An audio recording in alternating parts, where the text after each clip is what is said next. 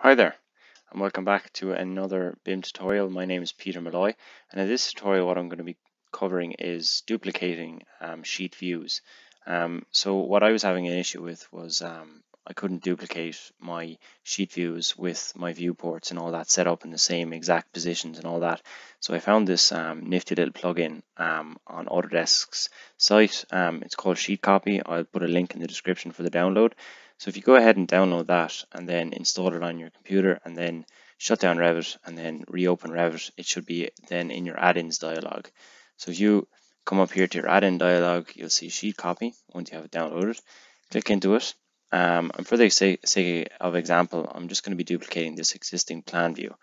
Um, so I'm going to click this guy here. You can do the lot if you want, but um, I'm just going to do one for the sake of example. Um, I've had a little bit of a play around with this. Um, and what the settings I like to use, just click on the duplicate legends, duplicate schedules, duplicate with views, and then also come down here and copy with detail, just so you're, if you have any 2D elements or 2D spec or anything like that, that'll carry through then on the um, viewports and the duplicate views that you've uh, that you'll be creating here. And then once you've have that ticked, just press proceed. And then you'll notice over here there's a new um, sheet after being created. And that's nearly an exact replica of what I have in front of me here now.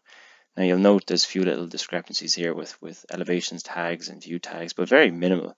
I'd say 95% of the information that I had on the previous sheet has been carried over. So yeah, a really, really um, decent uh, plugin, and uh, I hope hope it saves you time as it has my as it has me. And uh, yeah, I hope this tutorial was helpful. Um, if you'd like and subscribe to the channel, that'd be awesome. And uh, yeah, I'll chat to you in the next one. Cheers.